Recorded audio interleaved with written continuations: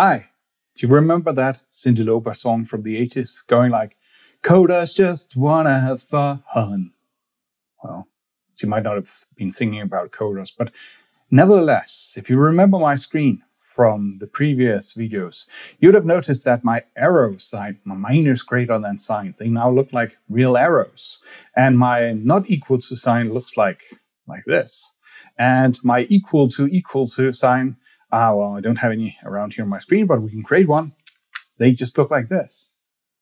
It's not really making a huge difference in my productivity, but it's fun.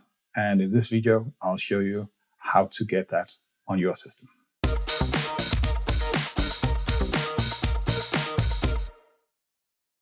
Hadn't it been for my singing, this video would have been below one minute long. But hey, everybody wants to be a rock star, right?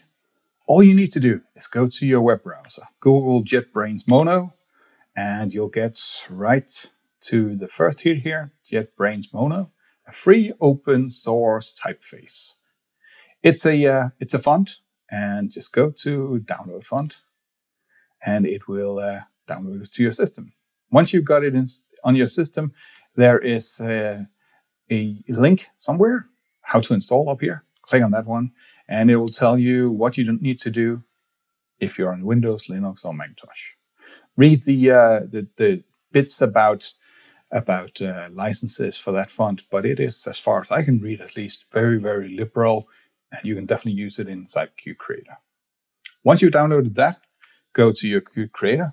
It looks like this, and tools, options, as so many times before, text editor, and in here, you'll find fonts and colors, and you'll just use the JetBrains Mono as your fonts. That's it. I hope you enjoyed this video.